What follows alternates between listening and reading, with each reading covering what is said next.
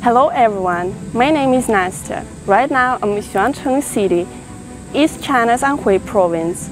Beside me, a small drone that looks like a small plane is going to take off. It's going to inspect the ultra-high voltage transmission lines above my head. Ultra-high voltage power lines are known as energy superhighways because they allow electricity to be transmitted over long distances without much loss.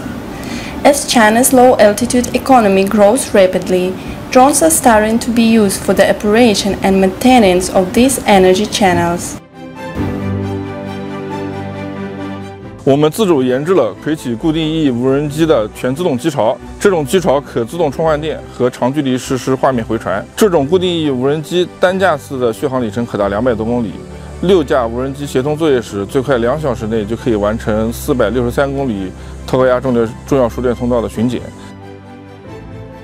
As you can see, there are no workers on site. But how do these smart drones work?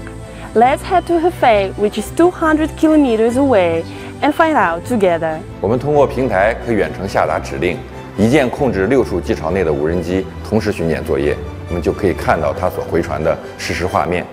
Looks like in the past it was Spider-Man working on high altitude lines for inspection.